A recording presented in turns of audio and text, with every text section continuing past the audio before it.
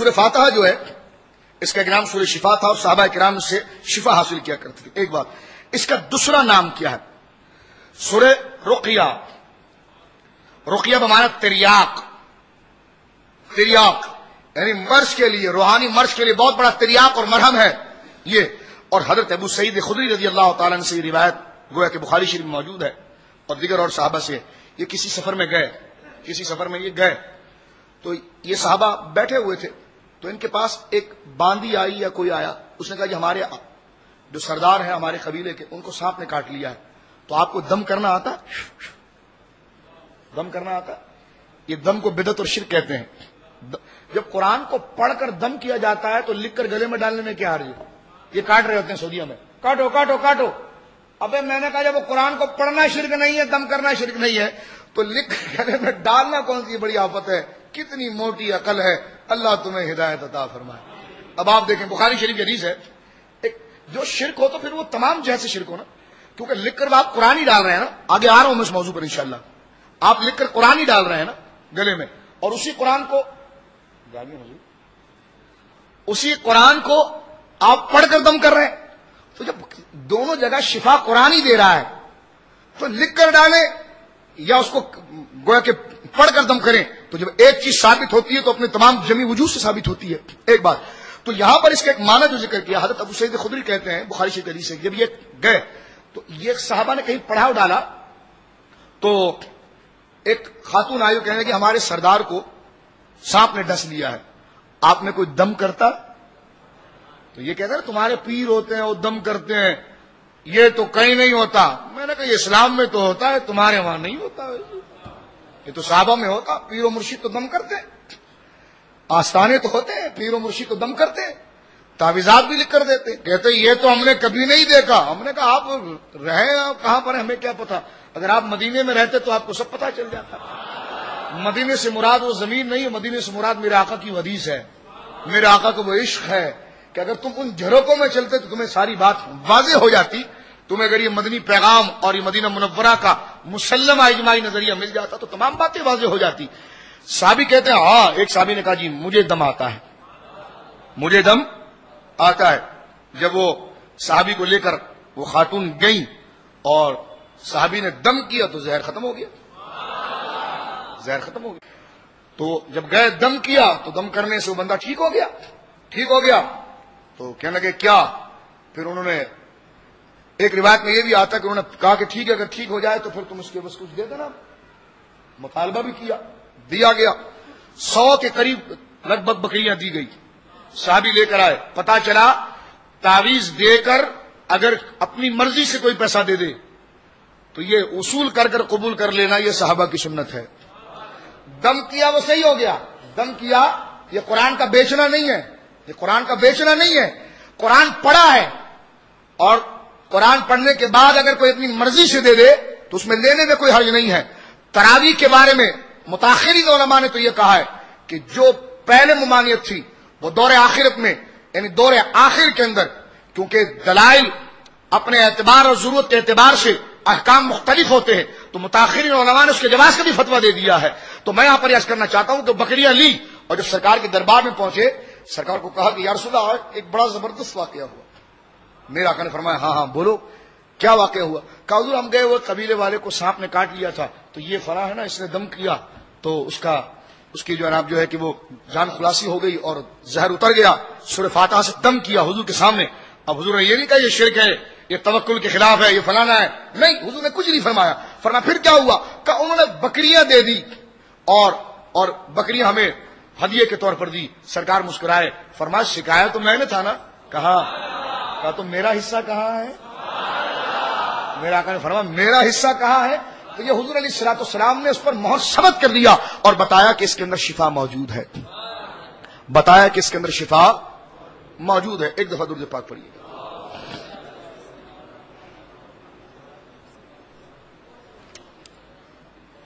میں اس پر امام کرتبی کا ایک مسئلہ آپ کی خدمت میں پیش کرتا ہوں۔ ہاں مشکات شریف کے اندر مشکات کے اندر یہ احادیث موجود ہے جس میں حضور علیہ السلاط السلام نے تعویذ کو لٹکانے سے منع فرمایا اور حضرت عبداللہ ابن مسعود نے اپنے بچوں کے گلوں سے تعویذ کاٹا تھا۔ لیکن اس کون سا تعویذ تھا بھائی؟ کون سا گنڈا تھا وہ؟ علماء نے لکھا جس میں شرکی الفاظ لکھے ہوئے تھے۔ زمانے جاہلیت میں اپنے بتوں کے نام کے اشار لکھے جاتے تھے۔ وہ کاٹا گیا تھا۔ وہ کاٹا گیا تھا۔ اب یہ جو آپ کے تعویذ توڑتے ہیں، قرآن آیات کو ڈبے میں پھینکتے ہیں معذ اللہ! یہ کہتے ہیں، حدیث میں آیا ہے کہ یہ تمام چیزوں کی منع کر دیا گیا ہے اور ان چیزوں کو گویا کہ حرام قرار دیا گیا اس کو توکل کے خلاف کہا گیا ہے۔ اور سرکار اسلاط السلام نے یہ اشار فرمایا، وما قال سمیت رسول اللہ صلی اللہ علیہ وسلم، وما ابالی ما آتیت ان اشربت تریاقا او تعلقت تمیمتا او قلت الشعر من قبل نفسی فرمایا کہ حضور علیہ الصلوۃ والسلام نے دم والے پانی اور سرکار اسلاط السلام نے حضرت عبداللہ بن عمر کہتے ہیں کہ تعلق تو تمیما گلے میں تعویذ لٹکانے کو سرکار نے منع فرمایا اور اسے شرک قرار دیا ہے۔ تو اس کے تحت علماء کیا لکھتے ہیں میں بھی بتاؤں گا۔ لیکن عقل بات موجود ہے۔ اگر تعویذ لٹکانا حضور نے احتیاط اس کو اگر اس کو اگر احتیاط پر بھی رکھ لیا جائے، شرک کہا ہے، تو حضور نے دم کی اجازت کیوں دی؟ حضور نے دم کی اجازت کیوں دی؟ اگر تعویذ کو لکھ کر گلے میں لٹکانا سرکار کے نزدیک قرآن آیات کا اگر شرک ہوتا تو میرا ایک سوال ہے کہ مجھے یہ بتائیے کہ حضور نے پھر، حضور نے پھر قرآن کو پڑھنے کی اجازت، پڑھ کے دم کرنے کی اجازت کیوں دی؟ پتا ہے کہ جس طرح قرآن کو پڑھ کے دم کرنے کی اجازت دی ہے، اگر وہی لکھ دیا جائے تو وہ سرکار علی سلاط السلام کے منشا کے مطابق ہے اور وہ اس تعویذ میں نہیں آئے گا جس کو کاٹا گیا ہے، جس کو توڑا گیا، کاٹا گیا، جلایا گیا، شرک کہا گیا، وہ وہ ہے جس میں بتوں کے نام لکھے جاتے تھے۔ جس میں ایک بات، ایک دلیل میں یہاں پر لاجیکل لا رہا ہوں، جو اس کے استعارے اور علت کے اعتبار سے غور سے سنیے گا۔ اگر تعویذ کو گلے میں لگانا شرک تھا، تو حضور نے سورہ فاتحہ پڑھ کے دم کرنے کی اجازت دی نا۔ تو اس کو بھی شرک کہنا چاہیے تھا نا۔ کیونکہ آپ تعویذ میں سورہ فاتحہ ہی لکھ رہے ہیں نا، اور کیا لکھ رہے ہیں؟ پرانی آیات ہی لکھ رہے ہیں، اور کیا لکھ رہے ہیں؟ لیکن آپ اس حدیث کو ذرا پھر دیکھیے۔ حضور نے صرف تعویذ لٹکانے کو حرام نہیں کہا، حضور نے شعر پڑھنے کو بھی حرام کہا ہے۔ شعر شعر شاعری کو بھی حرام کہا ہے۔ اور ماتوف ماتوف علیہ کے حکم میں ہوتا ہے۔ ماتوف ماتوف علیہ کے حکم میں ہوتا ہے۔ جانی زید و عمر، میرے پاس زید اور عمر آئے، تو مجیت زید پر بھی اور عمر پر بھی ہے۔ مجیت کا حکم، آنے کا حکم زید پر بھی اور عمر پر بھی ہے۔ ماتوف ماتوف علیہ میں ذات جدا ہوتی ہے، حکم ایک ہوتا ہے۔ حضور، بہت توجہ سنیے گا یہاں پر۔ حضور نے یہاں پر اگر تعویذ لٹکانے کو شرک کہا ہے، تو حضور نے آگے چل کر فرمایا، شعر بھی نہیں پڑھنا ہے۔ لیکن حضور نے اپنے سامنے شعر پڑھوائے کہ نہیں پڑھوائے؟ حضرت حسان نے پڑھے کہ نہیں پڑھے؟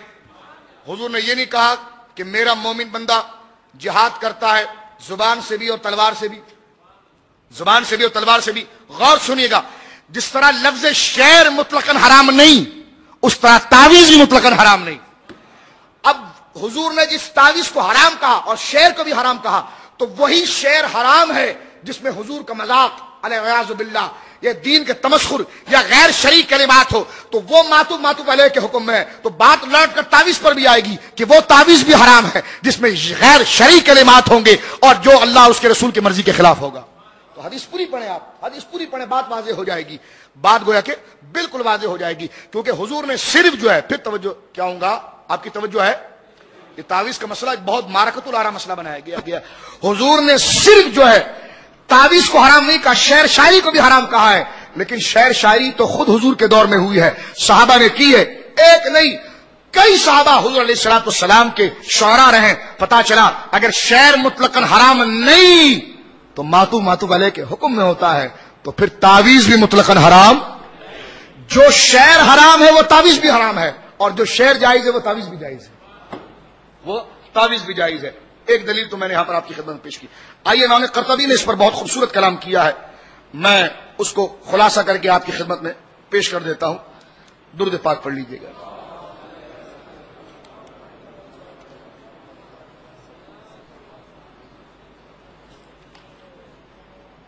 اس کا آخری خلاصہ میں لے کر آتا ہوں۔ امام اور ایک بات اور، جامع ترمیزی کی صحیح حدیث ہے۔ میں ترمیزی شریف لا نہیں سکا، جلدی جلدی میں بھول گیا، ورنہ میں نے حوالہ اس میں لگا لیا تھا۔ جامع ترمیزی کی صحیح حدیث ہے کہ حضرت عبداللہ ابن عمر رضی اللہ تعالیٰ وہ جو حضور کے کلمات ہیں جو سرکار حسنین پر دم کرتے تھے، وہ قرآن نہیں ہے۔ لوگ کہتے تھے، قرآن پڑھے نہیں، آپ دعائیں الگ الگ کرتے تو میں نے کہا، اس کا ثبوت بھی حضور سے ہے۔ حضور پڑھتے تھے آؤز بھی کلمات نظر بد کے لیے اور شیطان کی نظر بد کو کاٹنے کے لیے۔ سرکار امام حسن اور امام حسین پر پڑھ کر دم کرتے تھے۔ کلمات کیا ہے؟ آؤز بھی اللہ تامتی من کل شیطان حامت وہ من کل عین لامہ۔ یہ پڑھ کر حضور دم کرتے۔ سیدہ نے دیکھا تو سکا نے جواب دیا، میری پیاری سیدہ، یہ وہی دم ہے جو ابراہیم علیہ السلام، اسحاق اور اسماعیل پر کیا کرتے تھے۔ میں اپنے حسن، اپنے حسین پر کر رہا ہوں۔ حضرت عبداللہ ابن عمر کے بارے میں جامع ترمیزی میں صحیح حدیث موجود ہے۔ اور بخاری مسلم کی شرط پر جو ہے کہ مستدق میں موجود ہے، اس میں یہ کیا ہے؟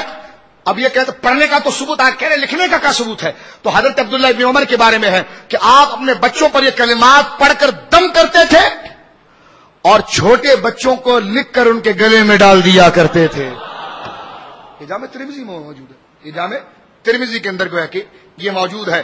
اور یہ جامع ترمیزی ابو داؤد کے اندر یہ روایت، حدیث نمبر تین ہزار آٹھ سو ترانوے جامع ترمیزی کے اندر جامع ترمیزی کے اندر تین ہزار پانچ سو اٹھائیس، مصنف ابن شہبہ جلد نمبر آٹھ کے اندر یہ حدیث صفحہ انسٹھ پر موجود ہے مسلم امام احمد میں جلد نمبر دو صفحہ ایک سو اکاسی پر موجود ہے، یہ سارے حوالے ہمارے پاس ہیں جو ضمن میں ریکارڈ کرانے کے لیے پیش کر رہا ہوں۔ تو یہ حضرت عبداللہ ابن عمر اپنے بچوں کے گلوں میں لکھ کر اس کو لٹکایا کرتے تھے۔ حضور نے جس چیز کو لٹکانے سے منع کیا ہے، وہ وہ تعویذات تھے جس میں بتوں کی تعریف اور شرکیا مل کر کہے شرکیا کفریا کلمات تھے۔ ورنہ حضور کے صحابی نے یہ لکھ کر ثابت کر دیا کہ جب بچے کے گلے میں ڈالنے سے شرک نہیں ہے، تو بڑے کے گلے میں ڈالنے سے شرک کیسے ہو جائے؟ بعید نہیں، یہ اعتراض بھی آیا نہیں، یہ بنا بھی لیں۔ کہ وہ تو بچے کے گلے میں تھا نا۔ تو میں نے کہا، ڈال تو صحابی رہا تھا نا۔ کہا، بچہ تو غیر مکلف ہوتا ہے۔ میں نے کہا، صحابی کو مکلف ہے نا۔ تو صحابی اگر وہ بچے کو لکھ کر دیا گیا ہے، تو بچہ جو تھا، بچہ جو تھا، وہ تو نابالغ تھا۔ صحابی جو ہے انہوں نے تو یہ کر کے دکھا دیا۔ تو یہ لمبی ایک تفصیل بحث ہے جس کا خلاصہ میں نے پیش کیا۔ آخر میں اللہ علیہ قاری کا حوالہ پیش کرتا ہوں۔ شرح مشکات میرے سامنے ہے۔ ملا علی قاری علیہ رحمت لکھتے ہیں۔ فرماتے فعین القسمہ جواز کی قسم پیش کرتے ہیں۔ خود لکھتے او تعلق تو تمیمہ اس لفظ کی وضاحت کرتے ہیں ملا علی قاری کہ اور سرکار نے حرام قرار دیا گلے میں تعویز لٹکانے کو۔ ملا علی قاری لکھتے ہیں اخستها علاقہ، والمراد من التمیمت ما کان من تمائم الجاہلیت فرمایا کہ حضور نے اس تعویذ کو منع کیا جو زمانہ جاہلیت میں لکھا جاتا تھا۔ آگے کیا لکھتے ہیں؟ فَإِنَّ الْقِسْمَ الَّذِي اخْتَصَّ بِأَسْمَاءِ اللَّهِ تَعَالَى وَكَلِمَاتِهِ غَيْرَ دَاخِلٍ غَيْرَ دَاخِلٍ فِي جُمْلَتِهِ بل هو مستحب مستحب مرجوج بالبرکہ فرمایا کہ لیکن ہاں وہ قسم جس میں اللہ کے نام لکھے ہوئے ہوں، کلمات لکھے ہوئے ہیں، وہ تمام کے تمام مستحب ہے مرجول برکہ اور اس سے برکت کی امید لینا جائز ہے۔ یہ مکہ مکرمہ کے مفتی ہیں۔ مکہ مکرمہ کے ملا علی قاری المکی، یہ ہیں افغانی، ہیں یہ افغانی۔ لیکن مکہ مکرمہ میں جا کر بسے اور مکہ کے ایک عرصے تک جو مفتی رہے، علامہ ابن حجر حیثمی، ایک ابن حجر اسقلانی ہے۔ یہ ابن حجر حیثمی مکی، ان کی شاگردی اختیار کی، جن کا فتح حدیثیہ ہے۔ ملا علی قاری کی پھر دنیا میں اتنی شہرت ہوئی کہ لوگ نہیں جانتے کہ یہ افغانی ہے۔ دنیا آج بھی کہتی ہے کہ اہل عرب ہے اور مکہ کے اجلّہ علماء میں سے ہے۔ تو یہ افغانی تھے۔ کیا تھے؟ تو انہوں نے گویا کہ مکہ اور اہل مکہ کا نظریہ گویا کہ واضح طور پر پیش کر دیا کہ یہ شرک ایک مسئلے کی مزید وضاحت کی اجازت ہے۔